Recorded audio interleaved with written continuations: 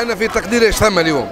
ثم حزب الجمهور يعمل طلب للقيام بتحرك مشكور في ذلك. نحن الجبهة الشعبية داعين التحرك. والساحة مفتوحة للجميع. لا لإقصاء كان من يكون. التظاهرة هذه والمظاهرة هذه هي ضد العنف وضد الإقصاء وضد الرأي الواحد وضد اللون الواحد وضد العودة للاستبداد وضد الديكتاتورية. ها هو العنف السياسي الغالي مطالب الشعب. هاو شعار الجبهة الشعبية. هذا شارع بورقيبة. اللي عمرناه ومليناه نهار 14 جانفي. وعمرناه ومليناه نهار 1 ماي. وعمرناه ومليناه نهار 13 أوت.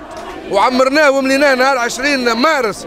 نحبوه اليوم يتملا ويتعمر ضد الاستبداد وضد العنف وضد الدكتاتوريه وضد الهمجية. مع تونس ديمقراطية ومع تونس حرة ومع تونس الكرامة ومع تونس التنمية ومع تونس العدالة الاجتماعية ومع تونس اللي اليوم يتحاكم ولادها في سيدي بوزيد حكومة الترويكا حكومة الالتفاف على الثورة تحاكم لنا في ولادنا اليوم في سيدي بوزيد لذلك اليوم بالنسبة لنا إحنا هذه وقفة نتاع كل التوانسة وإن تعددت وتنوعت.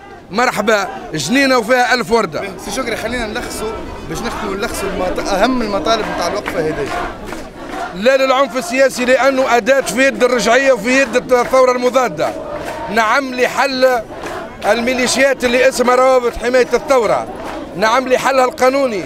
نعم لمحاكمة كل الأعضاء اللي فيها اللي تورطوا في القتل وفي الضرب وفي العنف وفي الحرق. وفي النهب نعم نعم لحياة سياسية ديمقراطية نعم لأمن جمهوري. فليرحل وزير الداخلية وزير حركة النهضة لا علاقة له بشعب تونس. نعم لقضاء مستقل نعم لقضاء مستقل. فليرحل السيد نور الدين البحيري وزير النهضة مش وزير التوانسة. فلترحل حكومة الالتفاف على الثورة نعم لحكومة كفاءات وطنية نعم لحكومة أزمة محدودة العدد ما يترشح منها حتى حد للانتخابات القادمة وتتهيأ لخدمة البلاد.